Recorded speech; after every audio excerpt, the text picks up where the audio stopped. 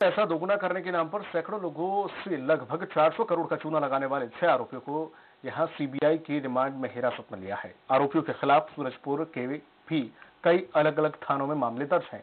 दरअसल यह पूरा मामला 2016 का है। शाजापुर के सात लोगों ने मिलकर Nirmal infra home chit fund company बनाई थी, जिसमें लोगों को एक साल के अंदर पैसा दोगुना करने का लालच दिया जाता था जिसमें सूरजपुर के कोतवाली भटगांव सहित कई थानों में मामले दर्ज किए गए थे। लगातार इन आरोपियों को गिरफ़्तार करने का प्रयास किया जा रहा था।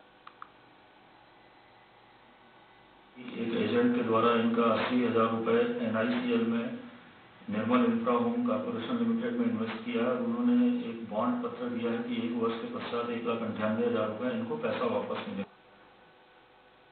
छतरपुर शहर